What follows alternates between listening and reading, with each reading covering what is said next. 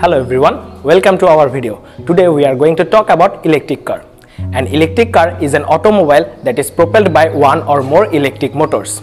Robert Anderson is often credited with inventing the first electric vehicle between 1832 and 1839. Electricity was preferred method for automobiles propulsion in the late 19th and early 20th century providing a level of comfort and that could not be achieved by gasoline driven cars. In 1897, electric cars was found in commercial use as taxis in Britain and in the USA.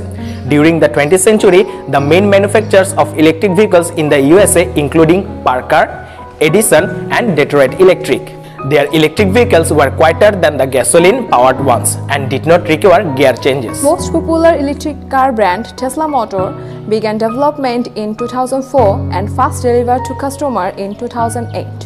In March 2020, the Tesla Model 3 passed the Nissan Leaf to become the world's all-time best-selling electric car with more than half million units delivered. Electric cars have less environmental impact than conventional IC vehicles.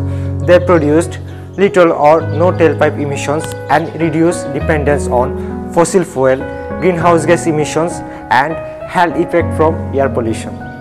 An electric car may be a little bit costly but it will cost less in maintenance over time. So we can imagine the world with only electric car in near future. That's all about our video.